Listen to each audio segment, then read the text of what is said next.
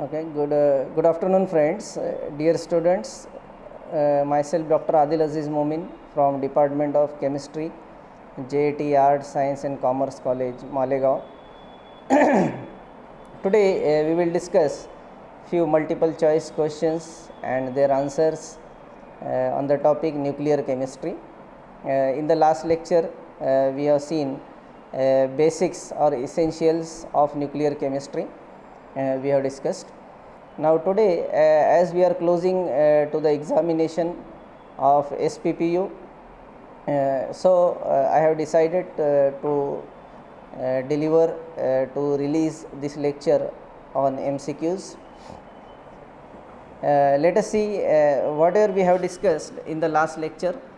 Uh, all questions will be based on that basic knowledge basic knowledge of nuclear chemistry we have discussed uh, during the, the last lecture. So on the basis of that basic knowledge only uh, i have selected few questions and uh, most of the question you will see in the upcoming examination uh, they will be based upon basic knowledge only. है ना there is no need to read an advanced books uh, for this examination of TYBSc so uh, students let us see one by one uh, the MCQs on nuclear chemistry. So, first question is uh, the total number of protons in the nucleus is called as nucleus के अंदर जो protons होते हैं तो उसको क्या कहते हैं ऑप्शंस है mass number atomic number both mass number and atomic number और you can say N capital N ये चार ऑप्शन हमको दिए गए। The total number of protons in the nucleus क्या इंडिकेट करता है ये? You should know this thing के number of protons in the nucleus of an atom represent its atomic number याद रखना है आपको।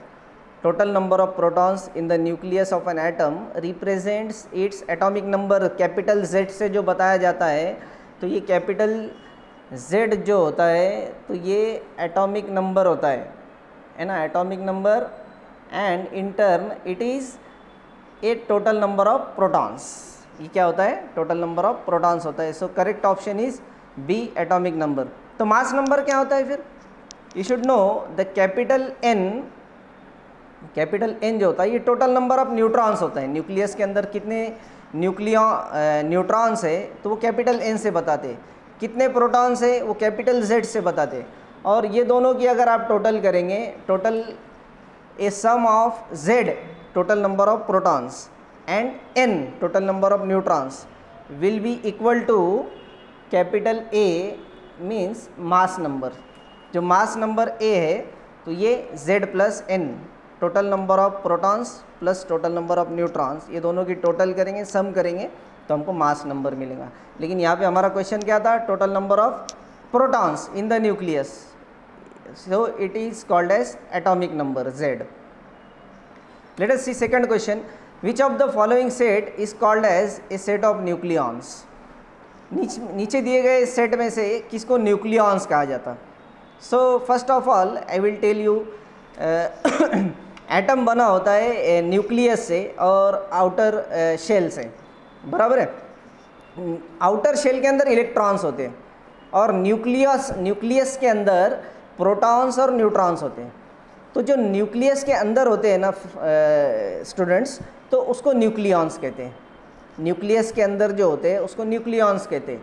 और न्यूक्लियस के अंदर कौन होते हैं? Protons and neutrons. So protons and neutrons को हम क्या बोलेंगे?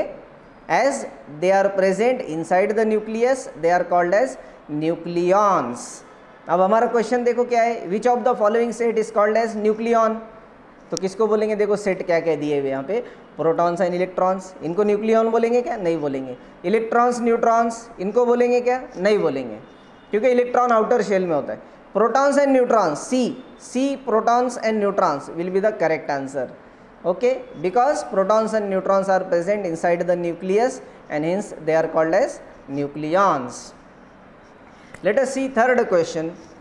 The exact mass of one proton is देखो ये क्वेश्चन भी हमारे एम सी टाइप में पूछा जा सकता है बिल्कुल पूछा जा सकता है। तो हमको एग्जैक्ट मास ऑफ़ प्रोटॉन और न्यूट्रॉन मालूम होना चाहिए। So uh, I will tell you exact mass of one proton is 1.007825 AMU. कितना होता है?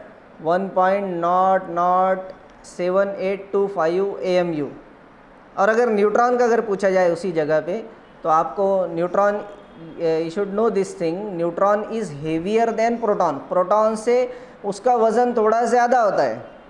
तो ज़्यादा कितना होता है?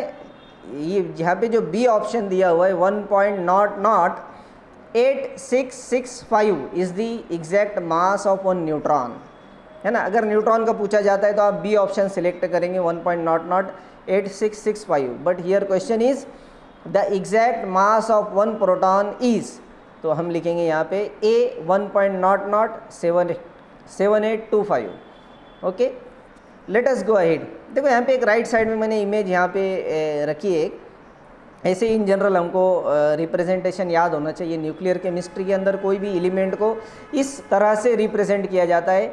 एक्स इज़ एलिमेंट ये जो एक्स है तो ये कोई एलिमेंट है। जेड जो होता है लेफ़्ट लोअर कॉर्नर पे तो वो नंबर ऑफ़ प्रोटॉन्स इंडिकेट करता है। है ना? उसको एटॉमिक नंबर भी बोलते हैं। जो कैपिटल एन है लोअर राइट कॉर्नर पे तो वो total number of neutrons indicate करता है।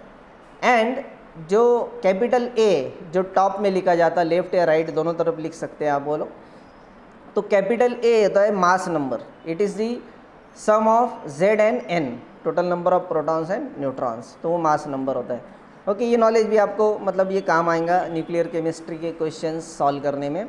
Let us see the next question carbon 13 and carbon 14 are simple question है. कार्बन 13 और कार्बन 14 ये क्या है? आइसोबार्स आइसोटोन्स आइसोटोप्स आइसोमर्स है ना? आइसोबार्स मतलब क्या होता है? सेम मास देखो ये जो कार्बन 13 जो है तो ये 13 इसका मास है. कार्बन 14 14 इसका मास है.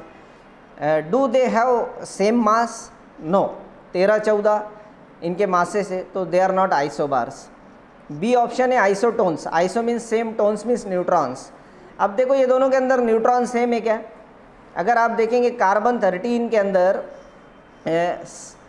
सिक्स उसका एटॉमिक नंबर है तो सेवन न्यूट्रॉन्स है उसके अंदर. कार्बन 13 के अंदर सात न्यूट्रॉन है और कार्बन 14 के अंदर आठ न्यूट्रॉन है. है ना? तो दोनों के न्यूट्रॉन भी सेम नहीं है. ओके तो बी ऑप्शन भी रॉन्ग है. अब देखो सी ऑप्शन देखेंगे isotopes iso means same topes means protons do they have same number of protons carbon carbon है दोनों भी. तो दोनों के proton number of course same रहेंगे. Z Z is equal to six in both the cases so they are undoubtedly isotopes है ना? क्या रहेंगे वो? आइसोटोप्स रहेंगे. कार्बन कार्बन दिया है ना? हाइड्रोजन हाइड्रोजन देंगे तो आइसोटोप हुए. हेलियम हेलियम देंगे आइसोटोप हुए. है ना? इस तरह से भी आप उसको गेस कर सकते हैं. दे हैव बट देखो कभी कभी सेम एलिमेंट होते हैं, लेकिन वो आइसोमर्स होते हैं, याद रखना। सेम एलिमेंट होते हैं, लेकिन वो आइसोमर्स होते हैं। जैसे for example cobalt 60 and cobalt 60 M है ना? ये दोनों, देखो, अभी आप देखेंगे कि आइसोटोप भी दिखाई दे रहे हैं, लेकिन at the same time they have same A value also उनका मास भी सेम है सिक्सटी सिक्सटी तो फिर वो तो आइसोबार भी हुए, है ना? ऐसे टाइम में क्या होता है? सिर्फ़ ऐसा नहीं देखना है कि दोनों कार्बन है तो वो आइसोटोप है। कभी कभी वो आइसोमर्स भी हो सकते हैं। एक मेटा स्टेबल रहता है दोनों में से और एक स्टेबल रहता है। एक हाई एक्साइटेड स्टेट में रहता है, एक ग्राउंड स्टेट में रहता है। है ना? तो ये भी आपको ख्याल रखना है। अब यहाँ पे देखो कार्बन कार्बन है तो मैंने आइसोटोप लिख दिया, लेकिन कब लिखा? कि दोनों का मास अलग है। एक का थर्टीन है, एक का फोर्टीन है। ऐसी केस में ये आइसोटोप्स कहलाएँगे। अगर समझ लो दोनों कार्बन है, दोनों का मास भी सेम है तो फिर वो क्या रहेंगे? आइसोमर्स रहेंगे। है ना? ये हमको गेस करते आना चाहिए। Let us see next question sodium 23 and magnesium 24 are the examples of देखो फिर से उसी फ़ील्ड का क्वेश्चन है। Isobars isotones isotopes isomers sodium और मैग्नीशियम दोनों का मास सेम है क्या यहाँ पे? 23, 24 नहीं सेम नहीं है। आइसोबार नहीं है। है ना? अब जेड वैल्यू भी अलग है देखो दोनों सोडियम या दोनों मैग्नीशियम नहीं है। एक सोडियम है Z is equal to eleven है ना? और एक मैग्नीशियम है Z is equal to twelve तो आइसोटोप भी नहीं है। तो अब क्या बच जाता है? आइसोमर्स का भी क्वेश्चन ख़त्म हो जाता क्योंकि वो आ, सेम न्यूक्लियस नहीं है सेम एलिमेंट नहीं है। तो आइसोमर्स भी नहीं है आइसोबार्स भी नहीं है और at the same time isotopes भी नहीं है। तो एक ही ऑप्शन बच जाता हमारे पास isotones you can see they have same number of neutrons sodium में अगर देखेंगे आप तो 12 न्यूट्रॉन है। और मैग्नीशियम में भी देखेंगे तो 12 न्यूट्रॉन है, ओके? इसीलिए तो सोडियम का जो मास नंबर है वो 23 हुआ। Z plus N twenty three Z plus N twenty four magnesium के लिए, है ना? इस तरह से आप इसको गेस कर सकते हैं, है ना? They are isotone same number of neutrons है ना? कैसे गेस करेंगे? वो आइसोबार नहीं है, वो आइसोटोप नहीं है, वो आइसोमर्स नहीं है तो आइसोटोन हुए, है ना? And you can also calculate number of neutrons see next six question is again उसी फ़ील्ड का एक क्वेश्चन है। Hydrogen three three T M B कहा जाता है इसको। And helium three are the examples of बहुत सिंपल है हाइड्रोजन थ्री उसका मास कितना है? थ्री है। एंड हेलियम थ्री कितना मास है? थ्री सेम मास आइसोबार्स है ना? पहले ही इसमें हम यहाँ पे क्लियर हो जाएँगे। उनकी जेड वैल्यू सेम नहीं है, उनके न्यूट्रॉन नंबर सेम नहीं है। उनके सिर्फ़ मासेस सेम आएँगे, है ना? और वो आइसोमर्स भी नहीं है।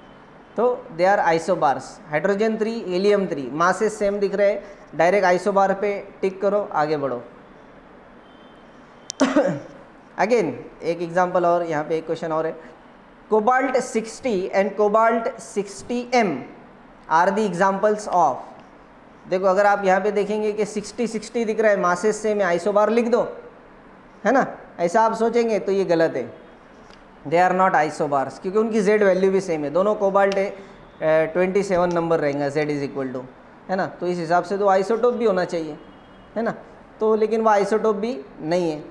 अब जब देखो जेड वैल्यू सेम है और ए वैल्यू भी सेम है तो उनकी एन वैल्यू भी सेम रहेंगी। मतलब आइसोटोन भी रहना चाहिए फिर, लेकिन वो आइसोटोन भी नहीं है। देखो यहाँ पे एम लिखा है स्मॉल एम है ना? मेटा स्टेबल न्यूक्लाइड यहाँ पे आप क्लियर हो जा सकते हैं कि cobalt 60 and cobalt 60 m means they are isomers metastable nuclide किसको बोलते हैं?